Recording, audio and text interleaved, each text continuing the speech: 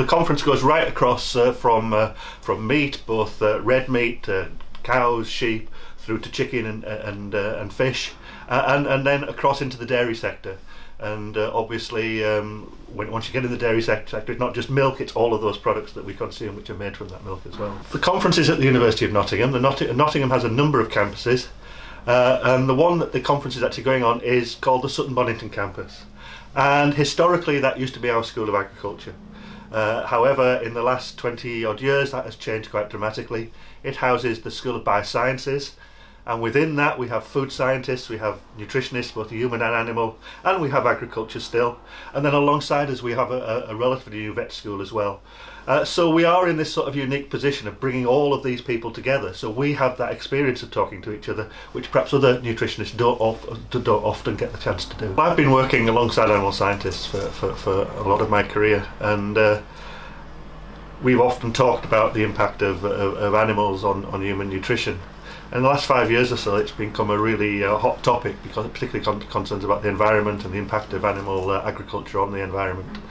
So we felt that it would be really exciting to bring together the two communities, the human nutrition community and the animal nutrition community. One of the messages we're being told is that we have to, uh, or potentially it would be beneficial to reduce our consumption of animal products. The impact, if we did that on agriculture, would, would actually be quite dramatic. And equally, uh, we're, we're, often told of the environment impact, environmental impact of growing animals in terms of their carbon footprint and producing methane and things like that. Anything that agriculture can do to actually reduce that uh, environmental impact obviously would be a major benefit. Cows, for example, produce methane. Methane is a greenhouse gas. But certainly uh, when I've talked to some colleagues in that area, one cow may produce a lot less methane than another one. We don't really understand completely why. And one of the things may be their diet, one of the things might be genetics, and exploring how uh, those areas and how we can minimize that effect is one area. The other area is what we feed those livestock. At the moment, a large proportion of the planet is taken up in growing crops, which actually never come to us. They go to the animals that we eat. And I think we have to be a bit more clever about that and finding alternative waste streams and, uh, and uh, plants perhaps that we wouldn't normally eat. Uh, and potentially insects as well, that we can feed to those animals rather than using things which could go directly into the human food chain. It's been very exciting. Uh, it's been an opportunity to actually make contact with people who I've read their work work about, and you know we've been delighted that virtually all of them have said yes, they want to come and they want to want to contribute to the meeting. What we've what we've tried to do is to bring as much as possible the world experts. So we've got human epidemiologists who have done a lot of the studies looking at the effect of meat, for example, on our health.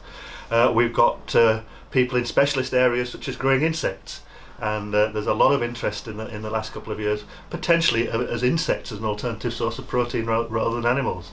And then along, alongside that, more traditional agriculture, more livestock and uh, dairy uh, uh, researchers. So I think we've really managed to bring together the whole range of, uh, of, of, people from, from, from the, the, the, appropriate communities. The exciting thing about it is I think right across the spectrum of nutrition, there should be something for, for everybody. Uh, I'm lucky, I work in an institute where, as I say, animal nutritionists and human nutritionists work side by side, but that's relatively rare.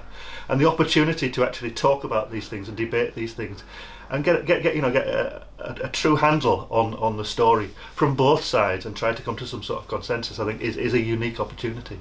Whenever you go to a conference, what, one of the main things that comes out of it is that you get to talk to people who uh, you haven't had the opportunity, uh, uh perhaps in, on a day-to-day basis.